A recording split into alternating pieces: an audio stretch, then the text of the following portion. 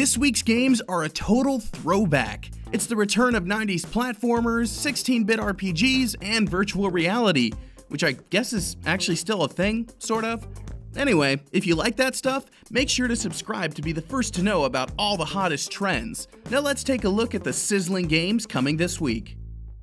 I'll be honest with you guys, Banjo-Tooie is my favorite game of all time, so Yooka-Laylee being its spiritual successor has me very excited. In case you live under a googly-eyed rock, here's the pitch. It's from ex-Rare developers. Cool. It stars a talking chameleon and a bat. Cool. And it has colorful levels like a jungle and a casino and a big frozen mountain. Literally cool. Along the way, you'll collect tons of items, fight bosses, and learn new powers.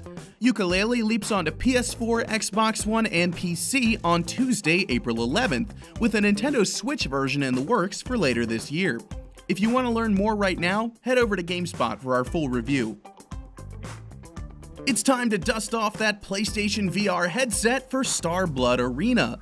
In the future, people like to watch pilots fight each other in spaceships. Starblood Arena puts you in the cockpit as one of those pilots, where you can fly nine different ships and rain down all sorts of bullets and lasers and missiles.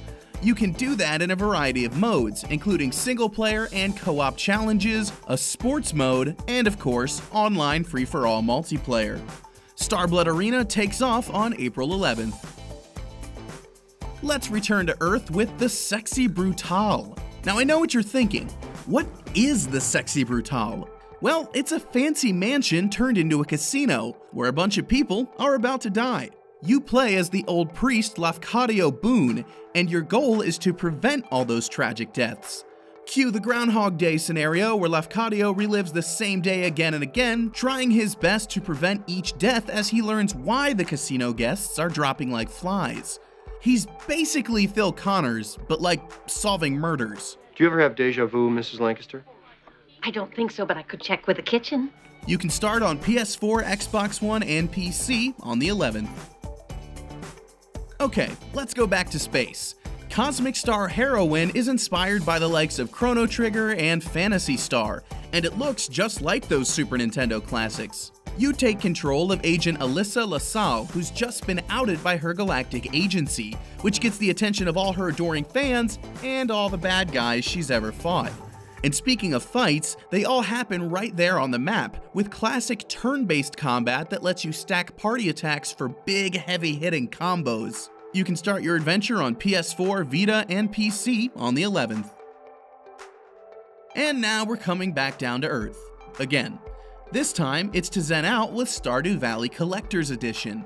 If you missed this indie spin on the classic Harvest Moon formula last year, here's a new chance to grow crops, go fishing, explore caves, raise a family, and so much more. The Collector's Edition is the first time the game will be available physically, and it includes a mini guidebook, fold out map of the game world, and a copy of the game's killer soundtrack.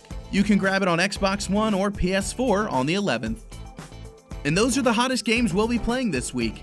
As always, remember that release dates are based on retailer listings and are subject to change. Thanks for watching, guys, and I'll be back with more games next week.